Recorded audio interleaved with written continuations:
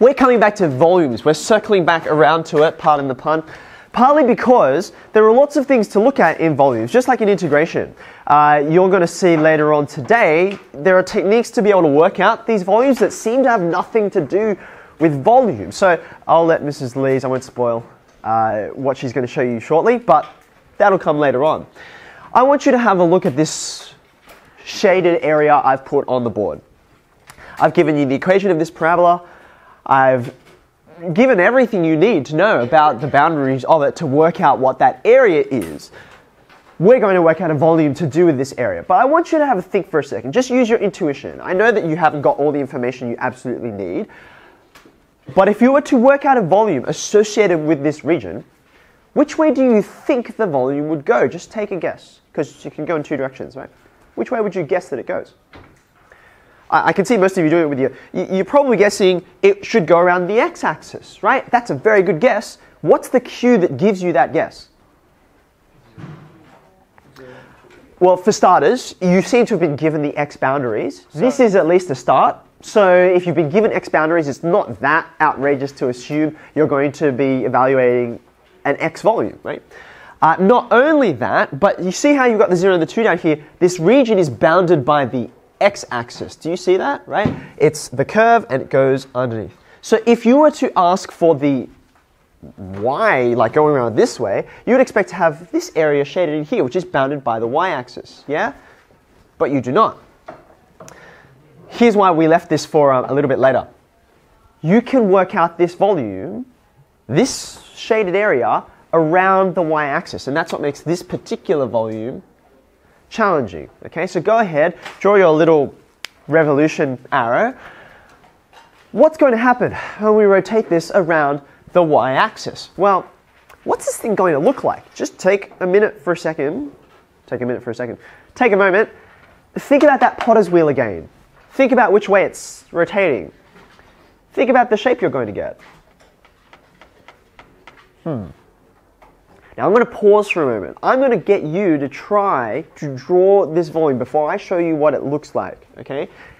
It'll take you like 15 seconds. Draw, even if it's like completely wrong. I want you to try and apply your mind to imagine what this is going to look like if we want to spin it around the y-axis.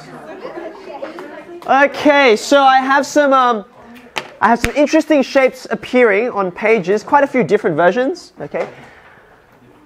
Here's what I want you to picture. Here's a bit of a tip for you. We're rotating, right? We're rotating. So the object that you're going to get always ends up with rotational symmetry every time because, you know, whichever axis you're going around, uh, you're creating the same shape and you're just rotating it, spinning it. So you get a rotationally symmetrical object, right? If it's rotational symmetrical and it's around this line, then see this interval over here, this vertical line? It should appear exactly the same everywhere you look around the rest of the edges of the shape, right? So it should extend out this way, out of the whiteboard, and it should whip all the way back around and come to this opposite side. So see how you have two over here? You can guarantee at negative two, you will get the same line over on this side. Even if what you had was not, I'm just, I've given you an even function, which is kind of convenient, but if I'd given you a cubic, don't worry about drawing this.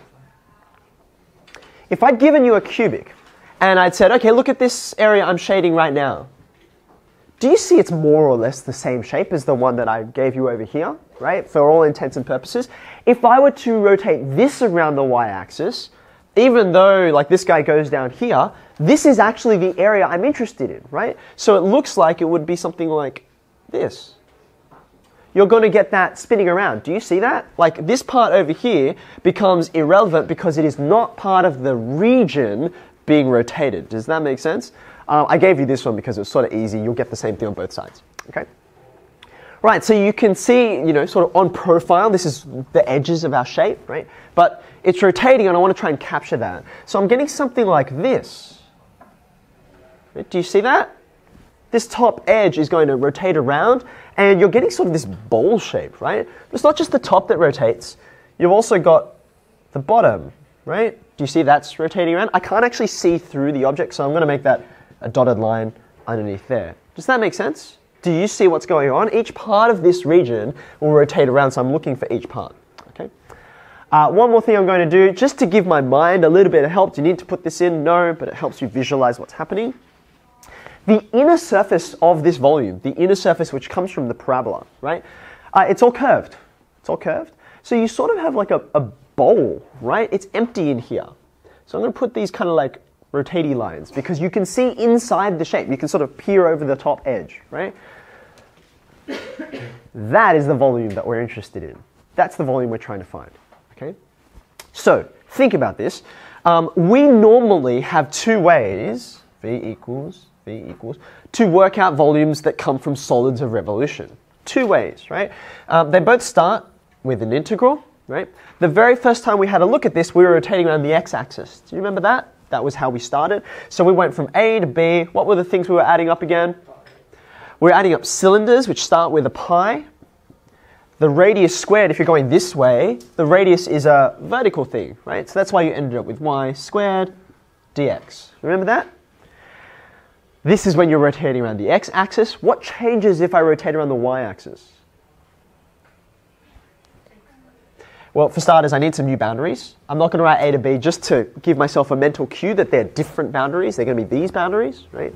Um, you're still doing cylinders, so you still have a pi, but then what changes? x squared dy. So you can see, just to remind you, the operative variable is this one down here, right? You're rotating around the x-axis, integrate with respect to x. You're rotating around the y-axis, integrate with respect to y. Okay, which one of these do you think I'm going to need to use? Not a trick question. I'm going to have to use the second one, right? Because I have nothing to do with rotation around the x-axis. So I already know that this is the one I'm interested in. But by itself, it won't cut it. By itself, if I just use this on this, what boundaries would I put in? Like that's the first thing you got to write down. This is a little trickier. What boundaries do you think I should put in? Hmm. Where do the boundaries come from? They usually come from this region that you're looking at here, right? Where it goes from top to bottom, okay? But there's a bit of a weird thing happening here. Um, if you went from zero up to, what's this value at the top? It's, it's five, right? Two squared plus one, so I might as well put that in.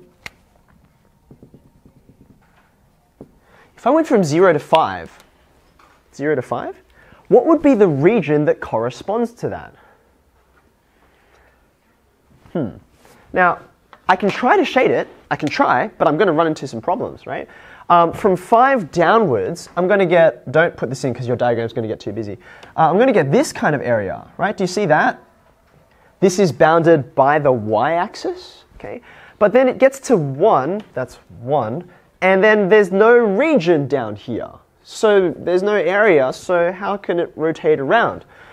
0 to 5 doesn't give you something sensible. It certainly does not give you this volume. Okay? So what I'm trying to get at is this on its own doesn't give you the shape that you need. In fact, it sort of gives you the opposite. Like we've got a sort of bowl looking shape, right? It's hollow on the inside. If I went from 1 to 5, you'd get the hollow on the inside, the part that I don't want. Okay? So now think back. Think back to what you were looking at with areas, and we looked at differences of areas. I am going to need to use this, but it just isn't the whole picture. If it gives me the part inside, the part I don't want, how do I get the part that I do want? Okay, so look at the whole shape. Just sort of take a step back and look at the entire thing.